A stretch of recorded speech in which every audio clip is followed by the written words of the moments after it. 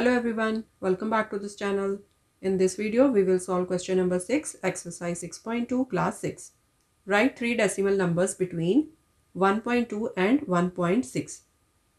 तो जब आप डेसिमल्स को और ज़्यादा डिटेल में स्टडी करोगे then you will find out कि 1.2 एंड 1.6 के बीच में there are infinite number of decimal numbers ठीक है सो फॉर एग्जांपल 1.21 1.22 1.31 1.32 1.51 1.52 इस तरह से infinite number of decimal numbers you can write between 1.2 and 1.6 क्योंकि जब आप एक नंबर लाइन पे 1.2 एंड 1.6 को प्लेस करोगे तो उसके बीच में ये सारे नंबर्स आएँगे, ठीक है?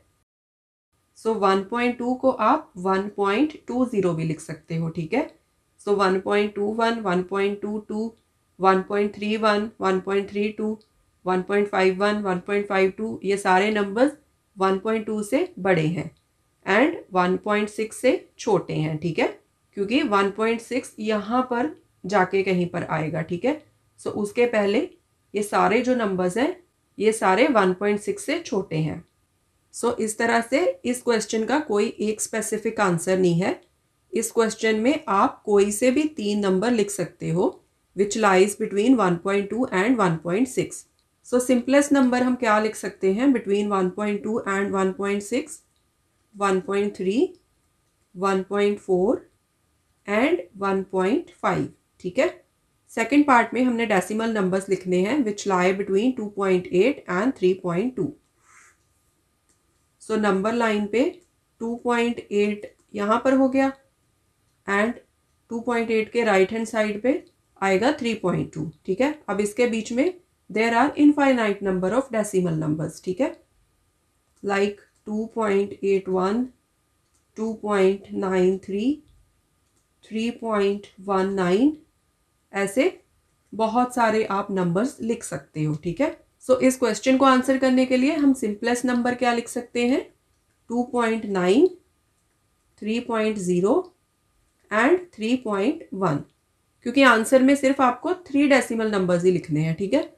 सो so, आप ये वाले सिंपलेस्ट नंबर लिख लो या फिर आप इस टाइप का भी कोई भी नंबर लिख सकते हो ठीक है? Because all these numbers lie between 2.8 and 3.2 third part में नंबर्स लिखने हैं हमने बिटवीन 5 एंड 5.5 तो नंबर लाइन पे यहाँ पर आ गया फाइव अब फाइव की राइट हैंड साइड पे आएगा 5.5 एंड इन दोनों नंबर्स के बीच में there are infinite number of decimal numbers like 5.12 5.132 5.329 क्योंकि आप डेसिमल के बाद आप जितने चाहो उतने डिजिट लिख सकते हो, ठीक है?